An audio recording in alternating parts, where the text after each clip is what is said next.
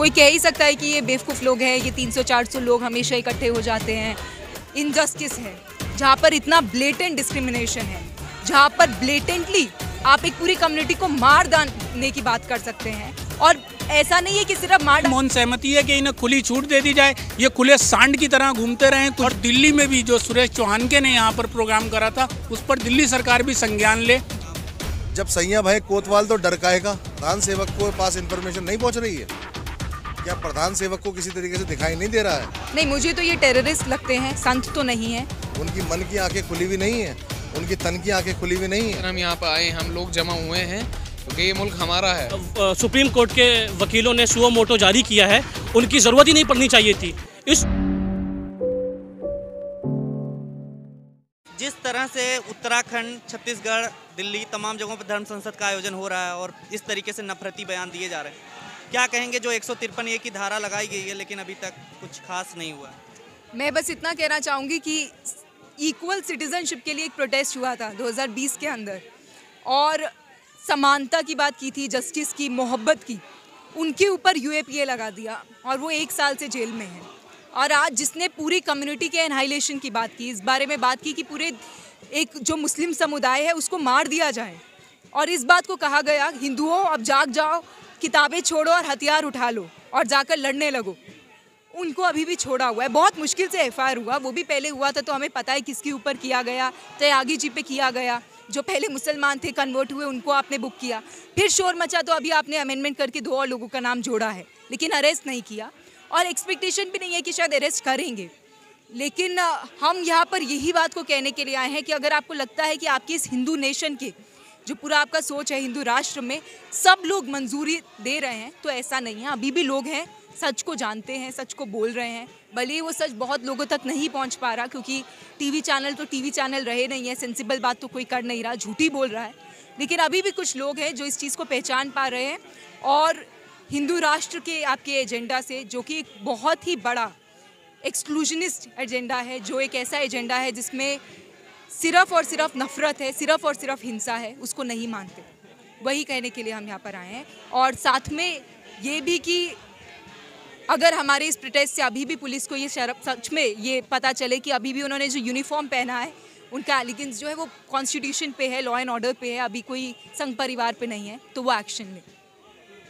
मोदी जी ने अभी जिस तरीके से कहा था, दिल से मैं माफ़ नहीं कर पाऊँगा, राष्ट्रपिता की बात आई थी एक बार तो उस वो क्या दिल से अभी भी माफ़ नहीं कर पाएँगे? जिस तरीके से राष्ट्रपिता का अपमान हुआ है छत्तीसगढ़ में।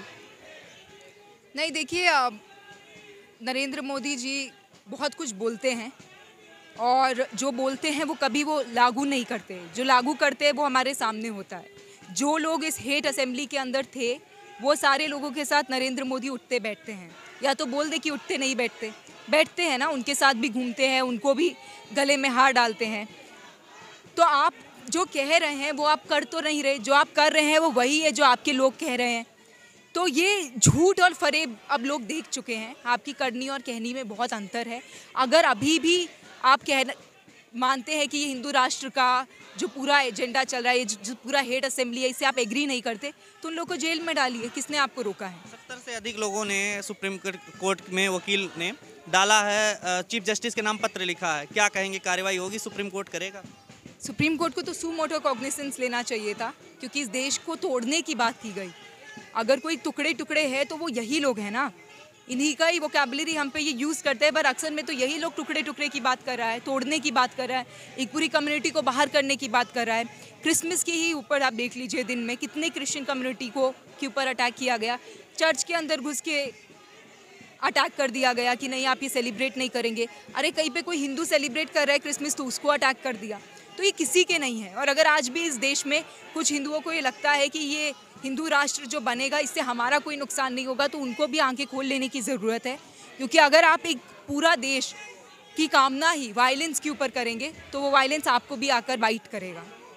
धर्म संसद में जिस तरीके से संतों संत कहा जा रहा है इनको ये संत हैं क्या आपको लगता है? नहीं मुझे तो ये टेररिस्ट लगते हैं। संत तो नहीं है। किसी भी तरह से नहीं है। अब हिंदुओं को डिसाइड करना है कि वो उनके संत हैं या क्या है। लेकिन कॉन्स्टिट्यूशनली लीगली ये संत तो नहीं है। तो क्या लगता है कि अब कार्रवाई होगी ज- कि नहीं कर- कार्रवाई होगी? कि तीन लोगों दो लोगों के नाम और ऐड कर दिए गए हैं। क्या मतलब इसको न्यूट्रलाइज करने की कोशिश हो रही है? नहीं मेरे हिसाब से अरेस्टिंग किया करना चाहिए था। अभी दो लोगों को जो नाम ऐड किया है वो भी बहुत प्रोटेस्ट और बहुत लोगों ने बोलना शुरू किया तो इन्होंने अपना फिर भी फेस सेविंग करने के लिए कि कल को मान लो सुप्रीम कोर्ट कहता है कि आपने क्या किया था तो हम कह सकते हैं कि हाँ देखो हमने इन दो लोगों पे भी एफआईआर किया है। तो ये फेस सेविंग जेस्टर है जो आपने बोला बिल्कुल सही बोला। लेकिन फिर भी हम एक्सपेक्ट कर रहे हैं कि वो कार्रवाई करें हम कोशिश करेंगे।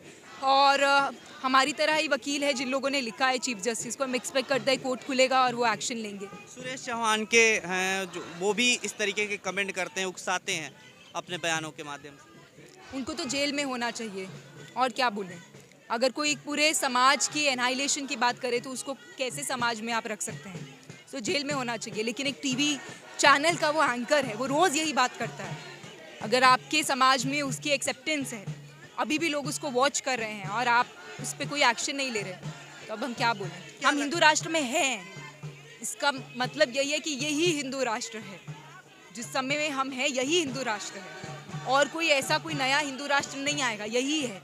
जहाँ पे इतना ब्लेटेंट इनजस्टिस है, जहाँ पर इतना ब्लेटेंट डिस्क्रिमिनेशन है, जहाँ पर ब्लेटेंटली आप एक पूरी कम्युनिटी को मार डालने की बात कर सकते हैं। और ऐसा नहीं है कि सिर्फ़ मार डालने की बात कर रहे हैं, हो भी तो रहा है।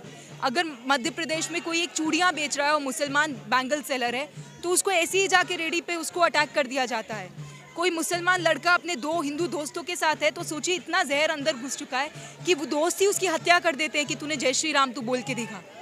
तो हम इसी हिंदू राष्ट्र में हैं हम जो सांस भी ले रहे हैं ना वो इस नफरत की सांस ले रहे हैं। तो आज हर एक बंदे के सामने ये एक प्रश्न है कि उसको ऐसी ही समाज में सांस लेना है या उसको साफ़ करने के लिए उसको कोई प्रयत्न करना है? आपके आपके यहाँ गैदर होने से यहाँ इकट्ठा होकर प्रदर्शन करने से कुछ फ़र्क अब पड़ने वाला है या आगे? मुझे नहीं पता शायद कोई फ़र्क ना पड़े। कोई कह ही सकता है कि ये बेवकूफ़ लोग हैं, ये 300-400 लोग हमेशा इकट्ठे हो जाते हैं। सेकुलरिज्म की बात करते हैं, संविधान बचाने की बात करते हैं। लेकिन अभी भी ऐसे लोग जीवित हैं ना तो ये सुकून देता है। और हम बोलते रहेंगे, हम जहाँ पे हैं, हम वहाँ पर बोलेंगे। अगर कोर्ट में है तो वो 75 वकीलों ने लिखा ना, चीफ जस्टिस को, कि आप क्या कर रहे हैं? तो कोर्ट में बोलेंगे, कोई यूनिवर्सिटी में है तो वो टीचर वहाँ पर बोलेगा। स्टूडेंट है तो स्टूडेंट वहाँ बोलेगा। लेकिन बोलना बंद नहीं करेंगे। और इस बात को बोलते रहेंगे कि दिस हिंदू राष्ट्र इज़ नॉट एक्सेप्टेबल क्या करेंगे? अगला कदम आप लोगों का क्या होगा? इस तरीके से यहाँ पे प्रयास यही करेंगे कि उन लोगों के ऊपर एफ़ आई सबके ऊपर एफआईआर हो। अभी अ, सुप्रीम कोर्ट भी काफ़ी सारे वकील इस पर जाएँगे। कार्रवाई हो वो लोग अरेस्ट हों और ये फिर से रिपीट ना हो। शुक्रिया। तो आप यहाँ पर देख सकते हैं कि किस तरीके से यहाँ पर प्रदर्शन चल रहा है और करीब चार पाँच सौ लोग यहाँ पर इकट्ठे होकर के अपनी बात कर रहे हैं। यहाँ पर आप देख रहे हैं कि किस तरीके से ये पूरा प्रदर्शन चल रहा है और यहाँ पर नारेबाजी हो रही है और यहाँ पर जो लोग आए उनसे जानते हैं। आप कहाँ से आए हम लोग यहाँ दिल्ली से ही हैं N C H R O national confederation organisation से हमारा ताल्लुक है। हम लोग यहाँ आए हैं जो उत्तराखंड के अंदर अभी हेट स्पीचेस दी गई हैं उसके खिलाफ हमारा धरना प्रदर्शन चल रहा है। उत्तराखंड ही नहीं छत्तीसगढ़ से भी अभी महात्मा गांधी के खिलाफ आपत्तिजनक शब्दों का प्रयोग किया गया है। दिल्ली में भी भड़काऊ बयान दिए गए हैं। देखिए अगर आप बात करें उत्तराखंड छत्तीसगढ़ की अगर हम बात करें तो ये चीज़ें अब आपको पूरे हिंदुस्तान में भी देखने को मिले तो कोई अजब बात नहीं होगी। जिस तरीके से साधुओं ने बैठ के वहाँ पे इतनी हेट स्पीचेस दी हैं और हिंसा को अंजाम दिया है उन्होंने तो ये तो पूरे मुल्क के अंदर ऐसा लग रहा है कि होना ही है। क्यों नहीं कार्रवाई हो रही है अभी तक? मतलब एफआईआर हो गए हैं तीन लोगों के नाम। जब सैया भाई कोतवाल तो डर काहेगा ये तो ज़िम्मेदारी होती है प्रधान सेवक की। क्या प्रधान सेवक को पास इन्फॉर्मेशन नहीं पहुँच रही है? क्या प्रधान सेवक को किसी तरीके से दिखाई नहीं दे रहा है? उनकी मन की आँखें खुली हुई नहीं है। उनकी तन की आँखें खुली हुई नहीं है। तो हमारा मुतालबा यहाँ पे ये है, हमारा सवाल सीधा सीधा ही है कि उनके ऊपर कार्रवाई करनी चाहिए, उनके ऊपर यूएपीए लगाने चाहिए। छोटे छोटे उनके ऊपर धाराएँ उनके ऊपर लगा दी हैं। सुप्रीम कोर्ट को पत्र लिखा है छिहत्तर वकीलों ने। क्या लगता है कार्रवाई करेगा सुप्रीम कोर्ट? आप बताइए कि सुप्रीम कोर्ट के वकील अगर त्रिपुरा जाते हैं उनके ऊपर यूएपी लग जाता है। तीन वकील चार वकील जाते हैं उनके ऊपर यूएपी लग जाता है। आप कह रहे हैं छिहत्तर वकीलों ने पत्र लिखा है उसके ऊपर कोई कार्रवाई हो जानी चाहिए थी। नौबत ही क्यों आई? उनको पत्र लिखना पड़ा। अभी आप उम्मीद रखते हैं कि हमें उम्मीद है तभी हम यहाँ पे एक अपना डेमोन्स्ट्रेशन के लिए प्रोटेस्ट करने के लिए आए ये अभी हमारे लोकतंत्र पे यकीन है पूरा भी हमें। हमारा कॉन्स्टिट्यूशन पे पूरा यकीन है और ये हमारा जमहूरी हक है। उस जमहूरी हक की खातिर हम यहाँ पर आए हम लोग जमा हुए हैं क्योंकि ये मुल्क हमारा है। हम इस मुल्क में कभी भी कत्ल वारत नहीं मचवा सकते ना मचाने देंगे। हम ये गांधी का मुल्क है। यहाँ भा, आपसी भाईचारे पे ही रहा जा सकता है और रहेगा। और इसी इसी के बिना पे इसकी नींव रखी गई थी आपसी भाईचारे पे। जिन्हें जाना था जो नफरत ज़्यादा थे वो चले गए। अब जो रह गए वो भाई भाई रह गए हैं। इसमें नहीं हो सकता कुछ। क्या कहेंगे आप? देखिए जेनोसाइड जो होता है, वो हेट स्पीच के थ्रू होता है। मैं जामिया से ताल्लुक़ रखता हूँ और मैंने बहुत नज़दीक से इन सब चीज़ों को देखा है। मीरान हैदर मेरा दोस्त है और क्लास फेलो भी है। उमर खालिद हमने साथ में संघर्ष किया है, सफूरा जरगर जो मेरी यूनिवर्सिटी की थी। तो जब एनडीसीओ प्रोटेस्ट किया था हमने, उसके बाद शर्जिल इमाम का भी नाम लेता हूँ मैं। यहाँ पे लोग बचते हैं उसका नाम लेते हुए। Sharjeel Imam was already in jail और Sharjeel Imam was already in jail but Delhi programme एक महीने के बाद होता है। उसके बावजूद भी उस पर यू डाल दिया जाता है, सिर्फ़ दिल्ली प्रोग्राम की वजह से प्रोग्राम की वजह से। इसी तरीके से उमर खालिद जो ट्रंप के आने के टाइम पे, वो ये कह रहा था कि हम गांधी की तरीके से जो है आंदोलन करेंगे और अगर वो लाठी लेके आएँगे तो हम संविधान दिखाएँगे। उस पर यू लग जाता है। मिरान हैदर जो जामिया की सड़कों पर प्रोटेस्ट कर रहा था, उस पर यू लग जाता है। कासिम उस्मानी जो देवबंद से ताल्लुक रखता है, उस पर यू लग जाता है। आसिफ इकबाल तनहा, उस पर यू लग जाता है। Then why not on these rascals इन लोगों पर यू क्यों नहीं लगा अब तक? और इसमें मतलब ऐसा नहीं है कि प्रधानमंत्री जो है डेमोक डेमोक्रेसी और सेकुलरिज्म की बात करते हैं तो वो सब कुछ सेकुलरिज्म है। वो संरक्षण देते हैं ऐसे लोगों को और ये बहुत ख़राब चीज़ है किसी भी मुल्क के लिए कि उसका प्रधान सेवक किसी अपने बंदों को एक कम्युनिटी के अगेंस्ट में हेड स्पीच बोलने के लिए प्रमोट करता है और उसे सपोर्ट करता है। ये कैसे कह सकते हैं कि संरक्षण देते हैं? क्या लगता है? कैसे उत्तराखंड में किसकी सरकार है? अब तक कार्रवाई क्यों नहीं हुई? एसपी ने ये क्यों बोला कि हमने नज़र बनाई हुई है? कौन सी नज़र बना के रखते हैं वो? किस पर नज़र बना के रखते हैं? क्या कोई उनके ऊपर कोई, उमर खालिद के अगेंस्ट कोई भी उनके पास ग्यारह हज़ार लाख पेजों की चार्जशीट जो बताते हैं वो, इतनी लंबी चार्जशीट निकाली, क्या उस पर कोई भी सबूत आया? नहीं आया। शजील इमाम के खिलाफ क्यों ट्रायल स्टार्ट नहीं हुई अब तक? मिरान हैदर क्यों अब तक जेल के अंदर है? तो इस वजह से जब सारी चीज़ें ऑन रिकॉर्ड ऑन माइक दिख रही हैं तो अब तक क्यों उनके ऊपर कार्रवाई नहीं हुई? तो संरक्षण नहीं तो फिर क्या चीज़ होगी फिर ये? जो मुकदमा दर्ज किया गया है, उस ना गैर जमानती मतलब धारा लगाई गई है उस पर अभी तक अरेस्ट हो जाना चाहिए था। एग्जैक्टली exactly अरेस्ट हो जाना चाहिए था और जो छिहत्तर सुप्रीम कोर्ट के वकीलों ने सुओ मोटो जारी किया है उनकी ज़रूरत ही नहीं पड़नी चाहिए थी। इस स्पीच के निकलते ही एसपी को इस पर एक्शन ले लेना चाहिए था। नज़र बना के रखी है नज़र बना के रखी है कौन सी नज़र बना के रखी हुई है?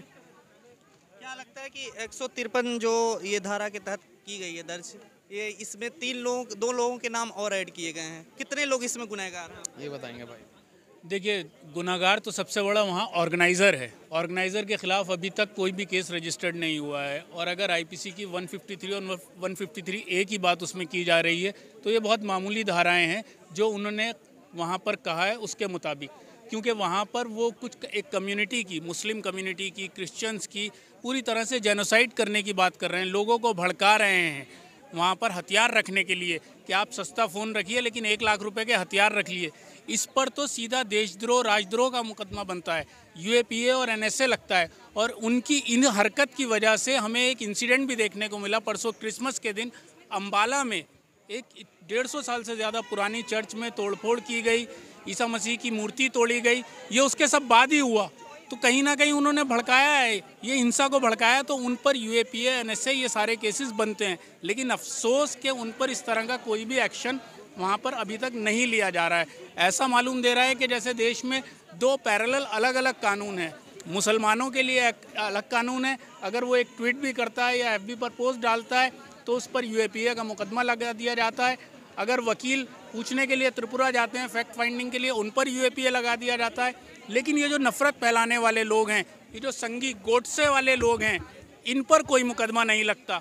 देश के राष्ट्रपिता की को गालियाँ दी जा रही हैं बड़े मंच से पब्लिकली सबके सामने, उन पर कोई मुकदमा नहीं हो रहा है। आखिर देश को किस तरफ़ ले जाना चाह रहे हैं ये लोग? हम, हमारी क्लियर डिमांड है कि उत्तराखंड के सीएम इस्तीफ़ा दें, और दिल्ली में भी जो सुरेश चौहान के ने यहाँ पर प्रोग्राम करा था, उस पर दिल्ली सरकार भी संज्ञान ले और उनके खिलाफ एफआईआर कराए।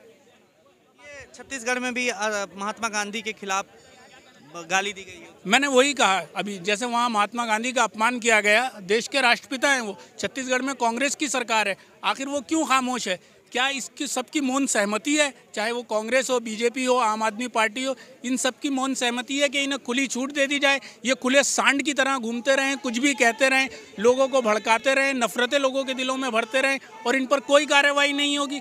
अगर यही बात कोई मुसलमान कहता या कोई किसान कहता, सिर्फ़ इतना कहने पर अब तक उस पर कार्रवाई हो जाती और वो अरेस्ट हो चुका होता खबरों में बने रहने के लिए फोरम फोर को सब्सक्राइब करें और नोटिफिकेशन पाने के लिए बेल आइकन दबाएँ।